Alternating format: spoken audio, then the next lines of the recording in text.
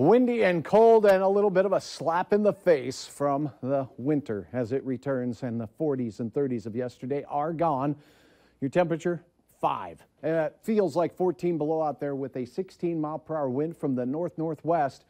And it's pretty brisk out there across the entire region. Already below zero in the Langdon and Devils Lake areas four below Langdon, and with the winds, it really feels cold. One degree above zero in Detroit Lakes, and right now two below in Roseau with two above in Bemidji.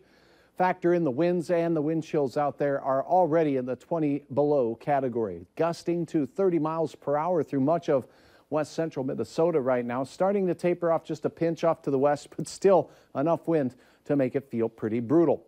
The snow showers that we had now moving well off to the south, southern Minnesota and South Dakota, seeing that in a clearing line taking place. It's through Minot and through places like Rolla, heading towards the uh, Grand Forks area first, and it does look like that's going to continue with temperatures the coldest up north.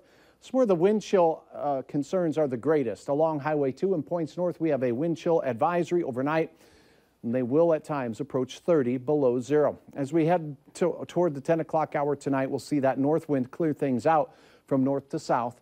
Temperatures below zero up north, still holding on to near zero in the southern counties, and still enough wind to make it wind chilly. In fact, all night that wind will blow at 10 to 20 miles per hour, but it shifts and becomes just a pinch more southerly. And that's a nice trend, a warming trend. Temperatures to start the day brutal. 10 below or so in northwest Minnesota, single digits above and below zero elsewhere, with temperatures rising in our southern and western counties to near 20 by midday. It will not feel very warm, though. We want to caution you, still wind chilly in the afternoon.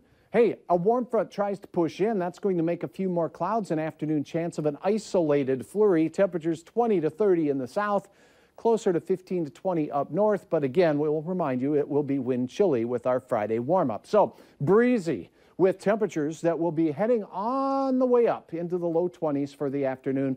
Can't rule out an isolated evening flurry of snow, but nothing significant should be in the offing. Winds from the south upwards of 25 miles per hour at times. Warmest to the south and west where we'll be close to 30 degrees. A lot of teens up north for another wintry close to the work week for many in the Northern Valley. What a shot downtown Fargo. Suchita, thank you for taking the time to upload the dandy shot. Look at the wet streets. Almost looks warm out there. Maybe it was last night. Here's a look at your forecast for Saturday. We stay in the 20s, but it remains breezy out there, so a cool one.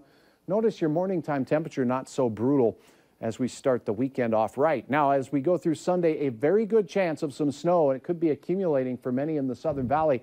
Temperatures falling from a high of 15 on Sunday down to single digits for President's Day and bitter cold as we go into Wednesday morning at 7 below, but it does look like there's nothing too low there.